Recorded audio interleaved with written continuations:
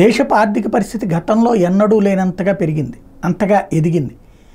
ఈ మూడు నాలుగేళ్ళ నుంచి వరుసగా అంటే కరోనా తర్వాతన మన ఎదుగుదల అన్నటువంటిది ప్రపంచంలో నెంబర్ వన్గా ఉంది జీడిపి గ్రోత్. అది వరుసగా ప్రపంచ సంస్థలు ఆర్థిక సంస్థల అంచనాలకి విరుద్ధంగా జరుగుతోంది.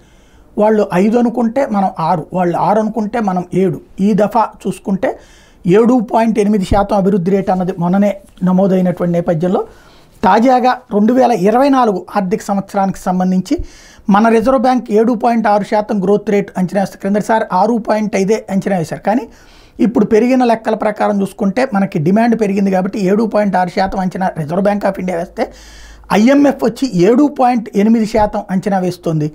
ముందు అనుకున్నది ఆరు పాయింట్ ఐదు నుంచి ఆరు పాయింట్ ఎనిమిది శాతం నుంచి అంచనాలు కూడా పెరిగిపోతున్నాయి భారతదేశం మీద.